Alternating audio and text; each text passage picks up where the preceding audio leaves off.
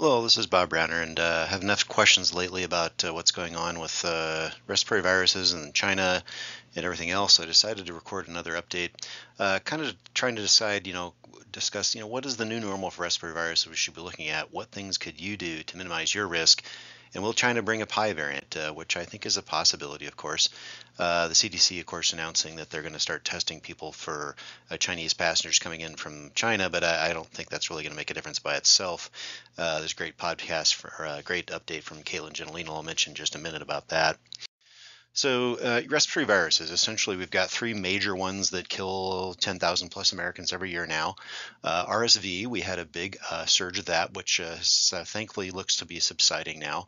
Uh, people always hear about it causing infections in kids. That causes a lot of hospitalizations in kids, but not many deaths, but actually kills quite a few elderly, somewhere in the range of 10 to 15,000 a year every winter, but people often are unaware of that. That's not a new thing, actually. Influenza, we had a big surge uh, uh, uh, two weeks ago, and then one of my frustrations, the CDC, see that the last update is from December 17th, two weeks ago. Uh, why have we not made our data more uh, timely through the COVID pandemic? I think it's one of our biggest failings is that we have not gotten better health data. Uh, this should be more timely, and we shouldn't have to wait two weeks for that. Uh, Nebraska, we do have a little more timely data with that, thankfully. Although even this, uh, our own respiratory virus dashboard sometimes is seven to ten days out of date. But here we are, you know, six, five six days ago, uh, showing that COVID or influenza does seem to be dropping, which is good. Uh, this is probably uh, partly that uh, you're seeing is probably Thanksgiving week. You get a re, get a surge of cases, then it starts dropping. But after the Christmas holidays, I think we may see another surge, and this has been typical, and we've seen this through COVID. And then after holidays and everybody travels and gets together, this is where things spread same with COVID here, and so COVID, you know, we had a, a bit of a surge here. You know, he, we got past the Omicron surge back here, late summer surge, uh, after Thanksgiving surge. Uh, we may end up with another one after the Christmas holidays. Uh, we'll see what happens. So uh, one way is to put these in, things in perspectives, and I think the most, you know, black and white comparison is how many people die. And so here is COVID, uh, a bad flu year, RSV versus car wrecks and gun violence. And what you see here is that, you know, we're losing about 345 people a day annualized that's about 125,000 people compared to uh, flu years which range from 12 to 52,000 in a bad year. Car wrecks you know in the 40 50,000 along with gun violence and RSV deaths 10 to 15,000 covid is still the third leading cause of death in the United States. So is the pandemic really over? I guess I wouldn't say so. I think it's uh, controllable at this point, but it's not over uh, because it's killing more people than car wrecks, gun violence, and an RSV uh, per year combined. So it's not over, but you know, and it could be more manageable. But unfortunately, we just don't have people doing the things that could really minimize their risks. So you know, uh, early on the pandemic, we heard people saying, "Oh, oh those people are going to quote die anyway."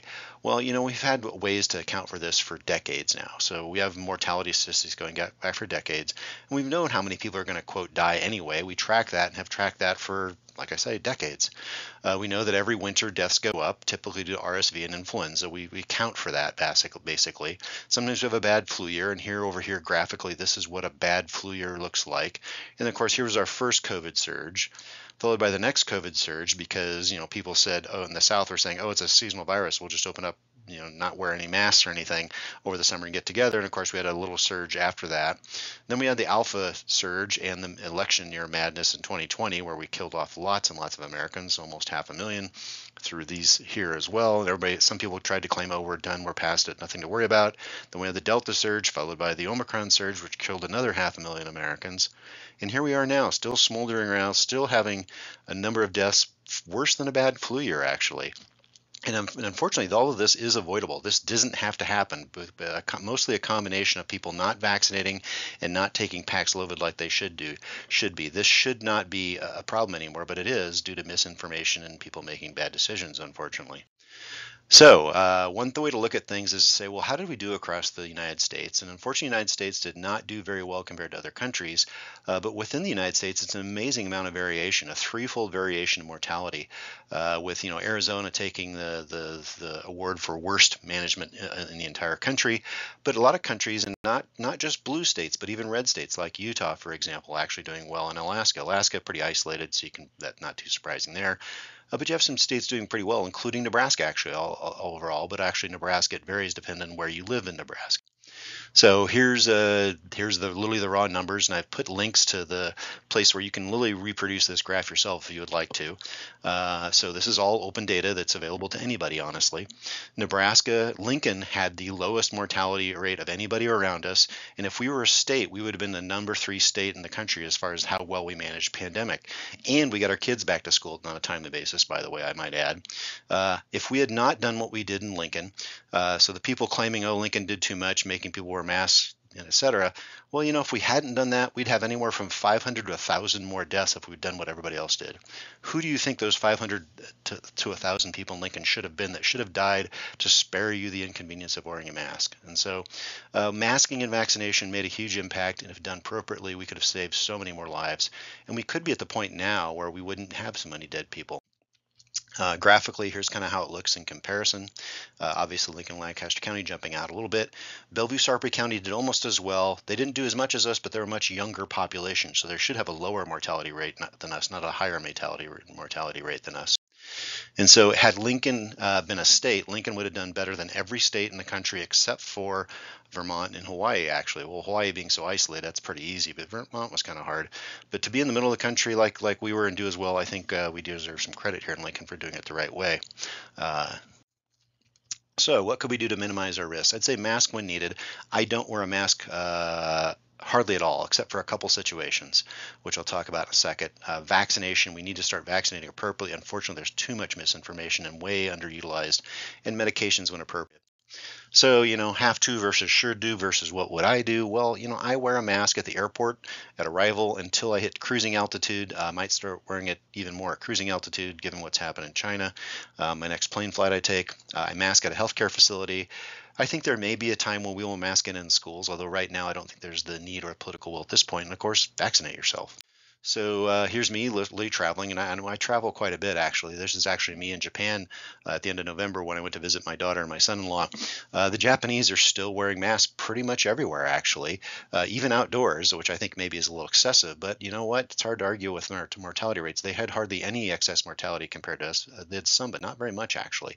They masked appropriately. They vaccinated. It took them a while to get their vaccination started, but once they started, boy, did they vaccinate everybody. And so when I'm in the airport or in crowded places, this is actually, uh, if I remember correctly correctly, the Kyoto uh, station, where it's just you know, amazing amounts of people in here. We have no concept of how many people is crowded. Uh, Lincoln, Nebraska, on a Cornhusker game day doesn't touch Kyoto Station or Namba in Osaka uh, on Tuesday night at 10 p.m. basically. But I will take my mask off at cruising altitude and I open the vent all the way. Uh, if somebody's coughing near me, I'll put my mask back on. But wear also wear a good mask. A mat, I would not use cloth masks anymore. You minimum a surgical mask like this lady. I use a KF94 because it fits my face better, or a KN95 would also work depending on your face and what fits with you. Uh, again, vaccination rates. So Lincoln has the highest uh, vaccination rates in the state. Uh, our older than 65 population, we were for a while we're the only county that had more than half of our elderly vaccinated with the bivalent booster, but thankfully Douglas County and Sarpy County have joined us. I've uh, put links uh, to this as well, so if you want to go to the notes section, you can look at this and see what uh, everybody, every county's vaccination rates are if you're interested. Uh, another way thing I think that demonstrates vaccination effectiveness is Bryan Medical Center's dashboard. So kudos to them for putting continuing to put this up there. You can see all the people who are in the hospital and their vaccination status. And despite more than half of the people in Lincoln Lancaster County having the booster, almost all the people in the hospital are the people who are not up to date. There's a few who are, but most of these people are high risk. People with cancer, uh, immune system problems, things like that. And almost all the younger people that are in the hospital, it's because they are not adequately vaccinated. Thankfully, it's not like early in the pandemic. Very few of these people are on the ventilator in the ICU anymore. They're needing supplemental oxygen, but that's unneeded cost. You know, and who does? I mean, I got better things to do than waste my time in a hospital too. So just get your vaccine. Uh, keep in mind the COVID risk pyramid. Yes, the vaccine is not 100% effective against mild infections or asymptomatic infections, but it is very 80 to 90% effective against hospitalizations, deaths, and also very effective against preventing long COVID as well. People are missing the long term disability costs of COVID are going to be huge, uh, and that's uh, just coming out now. So get your vaccine because it reduces your mortality dramatically. Uh, basically, uh, so you know, mask when needed, not everywhere, but but when you're needed. Stay up to date on your vaccinations, including your flu shot. The flu shot looks like a good match this year, about 50% reduction in hospitalizations and medications. And big, the big one is Paxlovid uh, for uh, for people with COVID.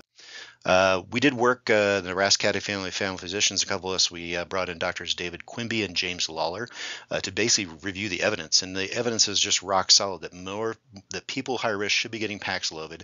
A lot of people are candidates. There's a few people who are not candidates for various reasons, for kidney issues, uh, medication interactions, but those can often be dealt with actually. So if you want to watch the video yourself, it's it's it's geared toward clinicians, but you can go to there, type in the Vimeo address above, and type in the password COVID. And I've got a, a link in the code note section as well. These are two of Nebraska's leading infectious disease experts telling you what we really should be done. Uh, there's such a misnomer about quote Paxlovid rebound, which actually is not a thing. It's a meme that's percep- per, per, perpetuated in, in, our in our media, unfortunately. COVID has three distinct phases. There's acute virulent phase where Paxlovid makes a big difference. There's an inflammatory phase that can happen with or without COVID. Even orange juice is followed by a quote Paxlovid rebound, it's not due to Paxlovid. It's just the second phase of the infection, and it's actually less less likely in Paxlovid that you, that infection that inflammatory failures would put you in the hospital. And also the studies are showing that Paxlovid also decreases the risk of long COVID. So you should take Paxlovid if you are a candidate. Uh, the, the, recommendations are out there. Please visit with your doctor if you're a high risk patient have a plan to take COVID. So if you do go to home for Christmas and you do get Pax get COVID, have a plan for how you're going to start uh, COVID uh, Paxlovid within this first couple days with a negative, with a positive test. Make a plan with your doctor. Uh, if you want to stay up to date, my still my favorite uh, places to stay up to date. One is uh, your local epidemiologist, Dr. Katelyn Gina. She has the best visuals out there. Uh, so I'd highly, if you really want to be up to date, I would not follow the national media on COVID. It's the reporting still is horrible, which which frustrates me. But she does a very good job linking to all the sources with graphics. And the best clinical uh, uh, update for me is Dr. Dan Griffin on TWIV. I listen to his every week.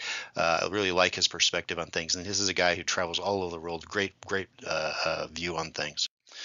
So Dr. Katelyn Jetelina did do today a, a, thing on whether COVID in China was is that going to give us the pi variant? Well, it might. I mean, when you let her rip and uh, infect a billion people, yeah, that's a lot of opportunities for the virus to mutate. But to be quite honest with you, it's spreading every place else too. So yes, that new variant could come from China, probably more likely given the numbers, but it also could still come from the United States or the UK or South Africa or who knows where. Uh, so I guess you know biggest thing just stay up to date on your vaccinations. If we get another surge, be willing to put that mask back on again, and if you're high risk, be willing to take Paxlovid or an alternative. That is the solution to this. So uh, we'll we'll you know yes it's nice I guess it's a partial thing that, that we're going to start testing people coming from China, but honestly I think we're at the point where, where we should be masking in, in the airport again, and I think testing by itself just isn't going to make big of a, a, big enough difference. And you know, Dr. Katelyn Jetelina actually goes to the math. It'll make a, maybe a 10% reduction, which you know, is a drop in the bucket, unfortunately. So living with COVID, essentially get your COVID bivalent booster, mask at the airport at this point, or if you're sick, and if you're high risk, talk to your doctor about a plan, Paxlovid or an alternative. So hopefully this is helpful to you. This is what I do for a living, uh, so you can verify who I am and I actually do have a pretty good idea what I'm talking about.